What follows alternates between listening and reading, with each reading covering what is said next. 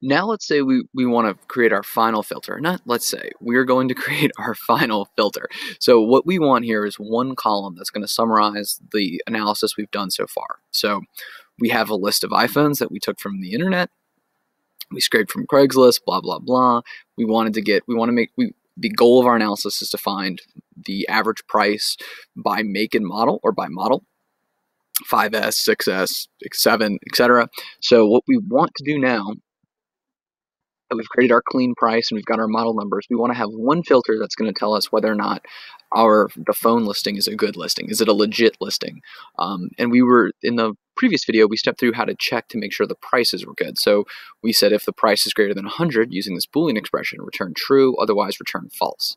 Now the last thing we need to do is looking at some of these, we can see that there are some, we could use this as our filter, except it would, it would, it would, there are listings that are true, such as this one, the Galaxy S7 Edge. Now we're only interested in iPhone, so we want to filter this one out. So there's an easy way to filter out these listings where the price is greater than 100 or greater than equal to 100, but the model number is not one of our iPhone model numbers that we spent so much time standardizing. And so what we're going to use is the len function. Len stands for length. And so when we use len, we can say, for example, we'll just type it in, len of the model number, and the number will be returned. So we can see in this example that our Galaxy S7 has a length of 0. So, or the computer service repair has a length of zero, although since the price is less than 100, it will return false anyway. So, we know that if the length is zero, and this value, or excuse me, we know that a good phone listing has a legit price value of true, and it will have a length of something greater than zero. It looks like two or one, but we can just say greater than zero. So, in order to find that, in order to create a legit listing, legit listing question mark, and then per my convention, I just make these black and yellow, like Wiz Khalifa. I will now use, I because I have two conditions here, right? The legit price has to be true, the length has to be greater than zero. So really quickly, how do I how do I create the Boolean expression? I can just add len length is greater than zero. Boom. Now I've got trues and falses again, right? But I want to combine both of these.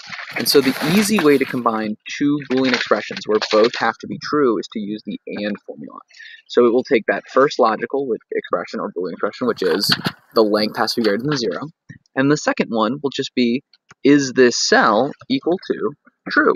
And true is a value that I can just type without quotes. And bam, now we have our filter. So in this case, the AND formula will only return true if all of the logical arguments or Boolean expressions return true. So that means, is the price greater than greater than or equal to 100? Yes. And is the length of the model number greater than or equal to 0?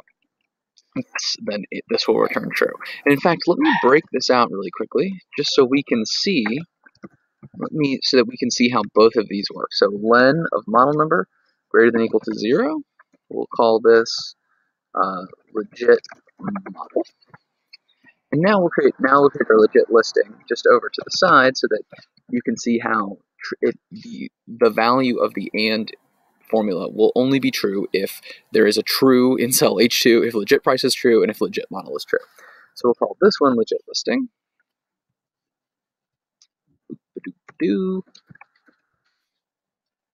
Okay, now we'll say and legit price equals true, and legit model equals true. And if neither, if one of these two is false, so in this case the price is, is false, but the model was good, or in this case the price was good, but the model was false, we will return false. And now we can use this this single formula here, this that returns true or false, as the filter for our pivot table when we do our analysis and make it much easier down the road.